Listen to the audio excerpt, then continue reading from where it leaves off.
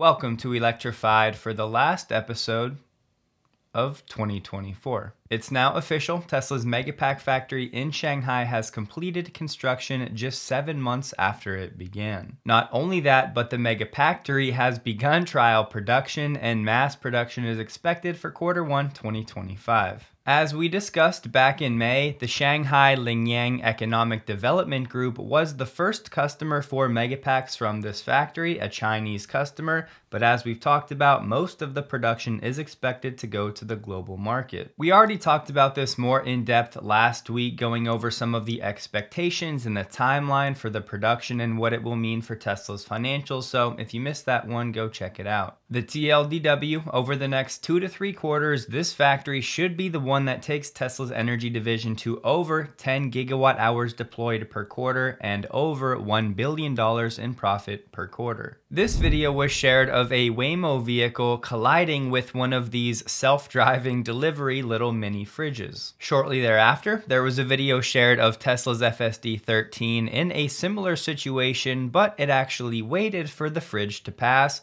Ashok shared that saying, knows to respect other robots equally. To give credit where it's due, the video of Tesla's version 13 in this scenario was from Andrew Petrella on X. All I wanted to add to this one is that, you know, maybe LiDAR is not the panacea that so many analysts still seem to think that it is. Rex shared a clip of version 13.2.2 on hurry mode, and listen, I watch an unhealthy amount of FSD videos. I'm not sure I've ever seen anything quite like this. I'm just going to narrate this real quick. So FSD seems to think that there's an extra lane over here to the right. There really isn't, but it goes up and maybe thinks it can't make it all the way to the light.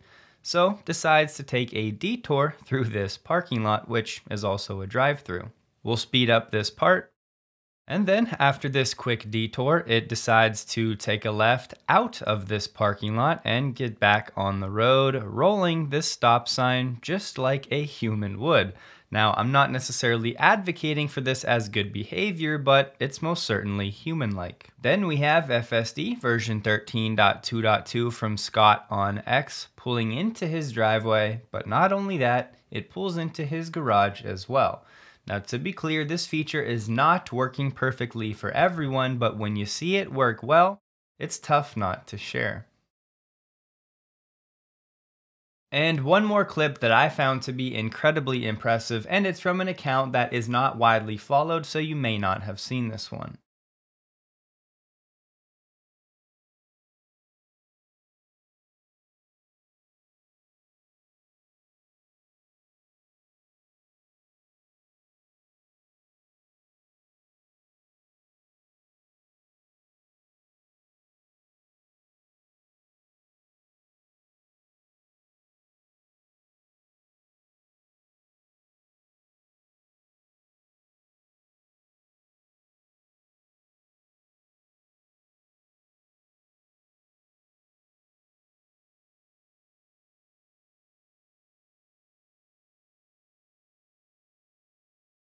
So FSD really showing off in that clip using reverse and then navigating around to the right to give that car room to go and then proceeding through.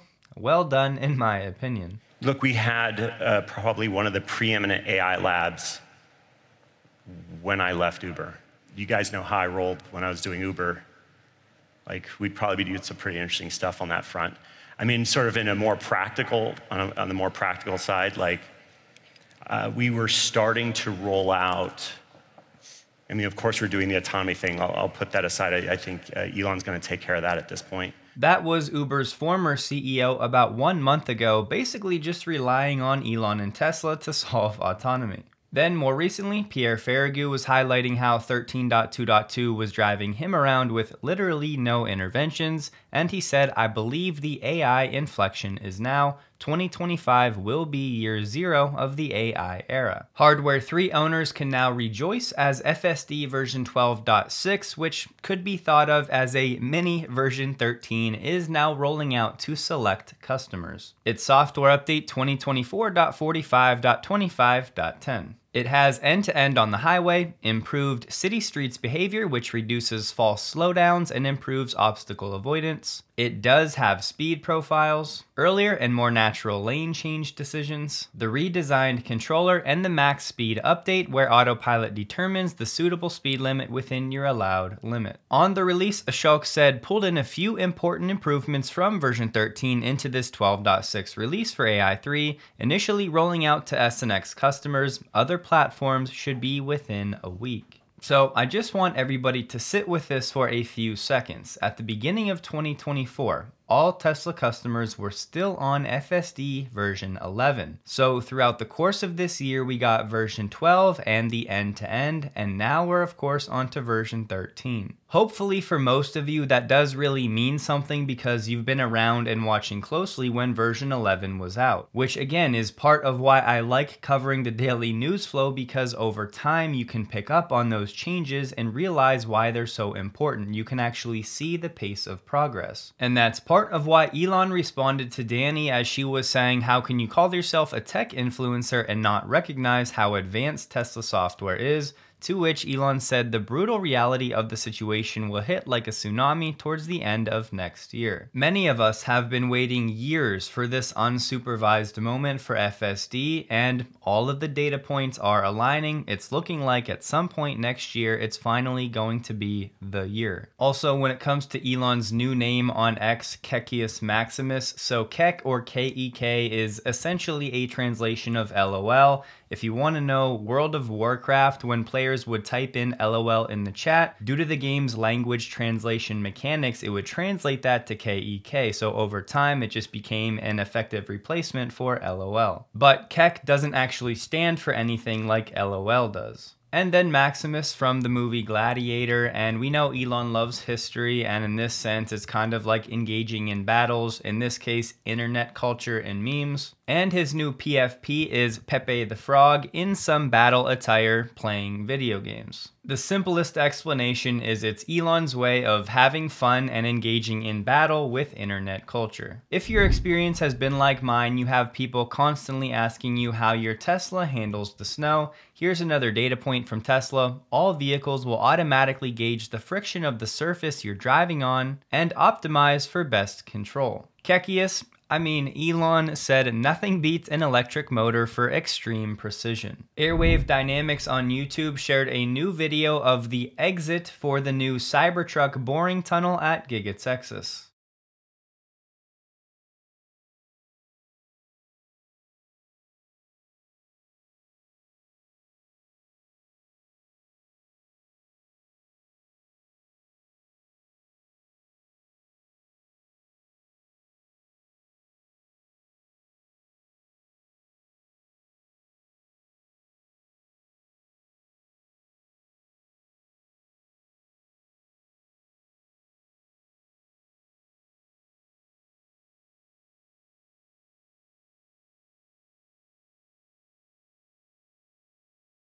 Speaking of the Cybertruck, Tesla has once again denied that the Cybertruck will be brought to China, as many of those rumors were suggesting. At least for now, a Tesla China source said it was false information and that there is no such plan for January 1st. However, the truth of the situation is that Tesla is likely to deny these rumors all the way up to the point in which the Cybertruck is actually ready to be launched in the Chinese market if and when that happens, so as to not Osborne any other sales. As we've covered, there are some data points out there that would lead us to believe Tesla may be up to something working on getting the Cybertruck ready for China, but for me at this point, I'm not expecting it anytime soon. Here's a fun fact for you 95% of your serotonin, which is key for regulating your mood, and 70% of your immune system is found in the gut. As we all look to 2025, I hope you all have something to get excited about. It doesn't have to be wellness related, although I am a big proponent of challenging yourself physically as it'll lead to mental benefits you didn't even consider. Now, if you've been around, you know I've had a pretty tumultuous couple years physically with a herniated disc and a parasite that wreaked havoc on my gut and immune system. But I also know we all have hurdles in life, and a big part of who we become is how we deal with them. You can get discouraged and frustrated and feel behind and accept mediocrity, or you can view them as part of your story that one day may help to inspire others. As I've been saying, just stay tuned for 2025. And it is a fact, I have my family taking AG1, the sponsor of this episode. My sister, my brother in law, and my wife have been green pilled, if you will, and they love it as part of their daily routine. For me, I like to sip mine throughout the day so I have a constant intake of these 75 vitamins, minerals, and probiotics with every serving. The B vitamins in AG1 do help to support my energy through the afternoon lull without needing caffeine because that does mess with my sleep at night if I drink it too late in the day. But as I always say, AG1 is just something you have to try for yourself. We all react differently. And even if you don't feel something after a few months, that does not mean that your body processes are not working better. AG1 is still offering that limited edition gift in addition to the welcome kit, so if you'd like to support the channel, you can head to drinkag1.com slash to check it out, or you can use the QR code on the screen. As always, to everybody who tries out these sponsors, I cannot thank you enough. It is true, this channel would not exist if you guys weren't so supportive. The weekly Tesla China number came in for the last full week of the quarter and the year at 17,600. Compared to the same week in quarter three, that number was 22,600. Thus, quarter over quarter, Tesla China is now up 7.7%. The previous record for a quarter for Tesla China domestically was quarter three of this year at 181,500. And given that we're now over 194,900, clearly we have set a new record. Week 13 in quarter 4 last year came in at 15,800. So year over year, quarter 4 was up 13%. Then zooming out, looking at the year to date figure for Tesla China domestically, it ended up 7.56% on the year. Now, yes, technically there are two days left, but remember, these numbers are rounded to begin with, so we have to allow some room for error with all of these numbers. But for 2023, this figure came in at over 609,700, whereas this year we're over 655,900.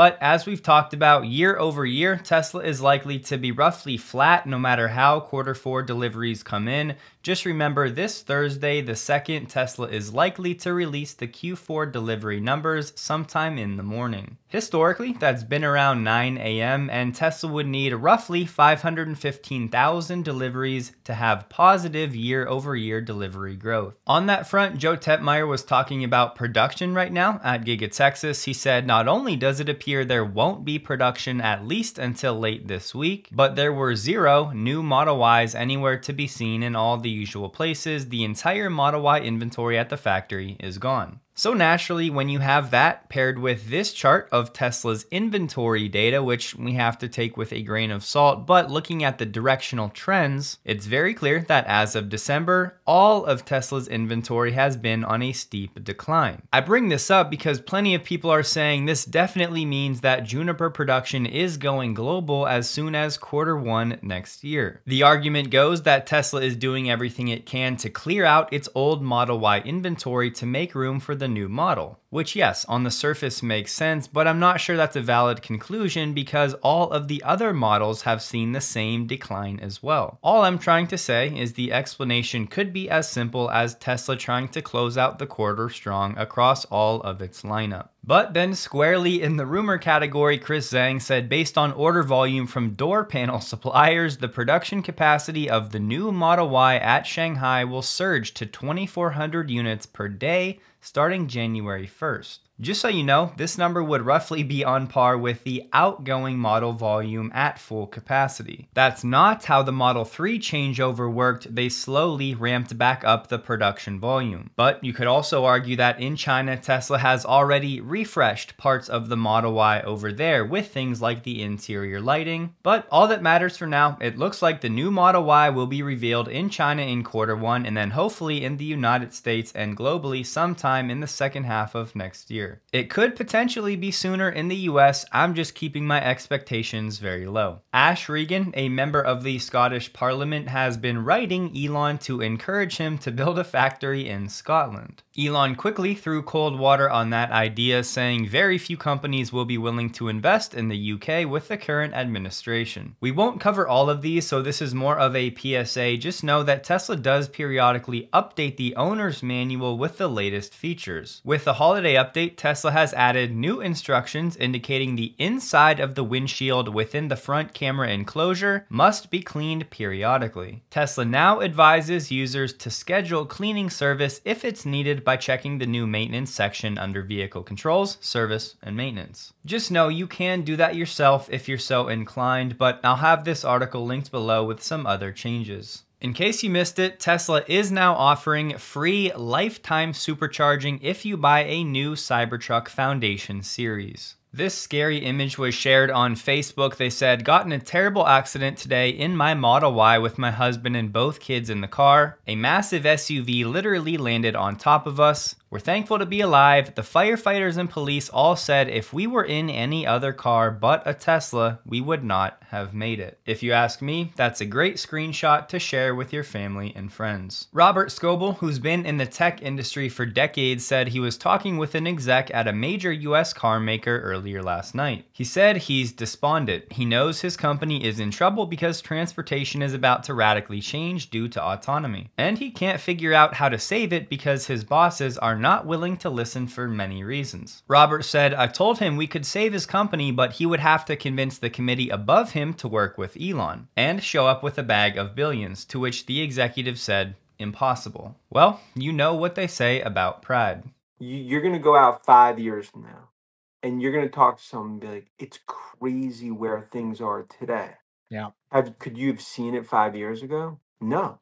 Like, and, and I think autonomous is an example of where this is going. And it's my other view. Like, look, come out Robotaxi today. It's a good example.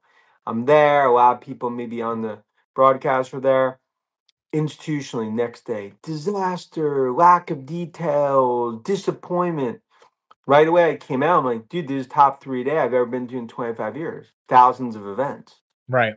Because it comes down to like a lot of institutional in the spreadsheet, wearing the fleece, new sleeve, they can't see it. They don't, it's not in front of them, it's not spoon fed to them. You see where it goes, and I'll, and that's my view of like where Tesla is heading. Deliveries is 10% of the story now.